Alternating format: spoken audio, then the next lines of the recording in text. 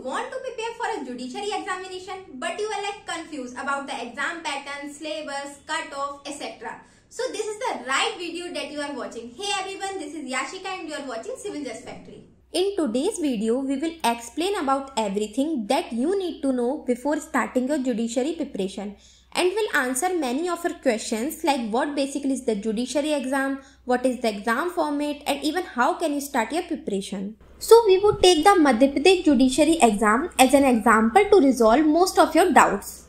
This exam is basically conducted for those students who have a law degree and aspire to become a civil judge or an additional district judge that in an ADJ. Now talking about the MP judiciary exam, this exam is basically divided into three stages that is your preliminary examination, mains examination and an interview round. Preliminary examination is an objective type exam where a student will be asked several multiple choice questions. The paper consists of 150 questions each carrying 1 marks.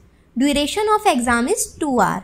And one of the best thing about MPCJ is that there will be no negative marking at all. Now let's look into the subject that are asked in the pre-examination. As you can see on the screen like in Indian constitution 10 questions will be asked. In CPC 15 questions will be there. From transfer of property act 7 questions will be there and followed. And to few who might be writing this all down, worry not, we will put the link to all this data in the description box right down below.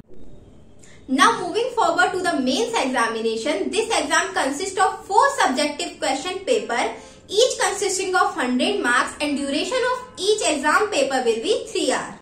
In your first paper, questions will be asked from the subject like Constitution of India, Code of Civil Procedure, Transfer of Property Act, Indian Contract Act, Specific Relief Act and the Limitation Act.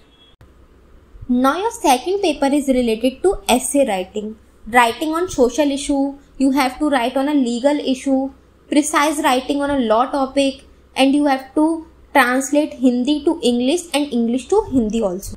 Now talking about your third paper where questions will be asked from your local and criminal laws. Your subject in this will be Indian Penal Code, Code of Criminal Procedure, Indian Evidence Act, Negotiable Instrument Act, MP Accommodation Control Act and your MP Land Revenue Code. Fourth paper will be related to judgment writing, where you will be asked to frame the issues, framing of charges, judgment and order of civil nature and a judgment or order of criminal nature. After clearing both the prelims and mains exam, your third stage will be an interview, which will carry around a maximum of 50 marks.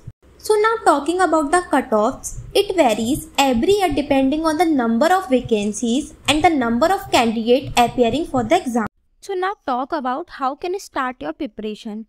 Before you start preparing for the judiciary exam, make sure to understand the exam pattern and syllabus. This will give you an idea of the topics that are covered in the exam and the type of questions that are asked. So first, understand the exam pattern and syllabus. Second, create a study plan. Once you have a clear understanding of the exam pattern and syllabus, create a study plan that works for you. Allocate time for each topic based on your strengths and weaknesses and make sure to include time for revision and practice tests. Third, read standard reference books. There are a number of standard reference books available in the market that can help you prepare for a judiciary exam. Some popular options include the Constitution of India by P.M. Bakshi, Introduction to the Constitution of India by D.D. Basu, and the Code of Criminal Procedure by Ratan Lal and Dheeraj Lal. Make sure to read this book thoroughly and take notes. Apart from that, practicing previous year's question papers is a great way to prepare for a judiciary exam. It gives you an idea of the types of questions that are asked in the exam and help you identify areas where you need to improve.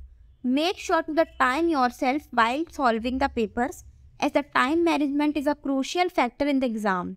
And make sure to stay updated with the latest news and event while reading newspapers, watching news channel and you can also use online source for the current affairs. Thank you for watching. We will be back with another video. Till then bye bye.